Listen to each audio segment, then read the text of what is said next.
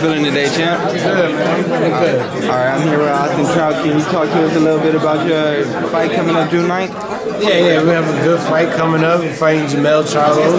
Not to be confused with the twin brother with the similar name as Jermall Charlo. But, you know, we did that before. Uh, you know, I've already fought the bigger brother. Uh, and, and me being one of the only few people, as you've seen, to give a Charlo a problem, you know, I believe that this is why I'm here. You know, to give them problems. I'm to give them fits. What makes you take these fights? I know a lot of people have been ducking in because they're like outspoken or they feel like they can't approach them. What makes you take both, want to fight both of them?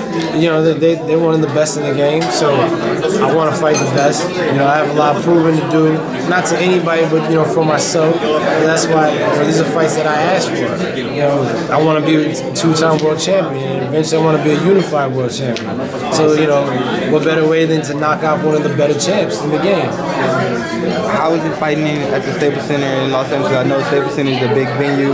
It does get a lot of boxing fights, so it should be a great atmosphere, and the LA crowd should turn out. I'm looking forward to you know feeding off the energy. You know, Uh, it, it's going to be a great crowd, as I know. I have a good little following here in California, and I'm also undefeated in California. So, so using all that, I'm gonna make sure I stay undefeated in California. What do you think about the main event against Santa Cruz Mares? I'm hoping to get out there early, yeah, out of my fight early, so that way I can go and watch the you know the main event. I'm looking forward to that.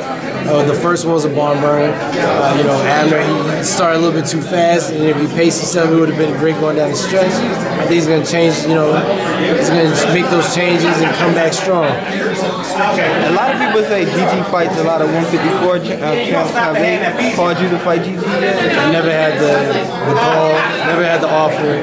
You know, it's not something I, I wouldn't turn down, though, because I feel like somebody who's got good footwork can beat Triple G.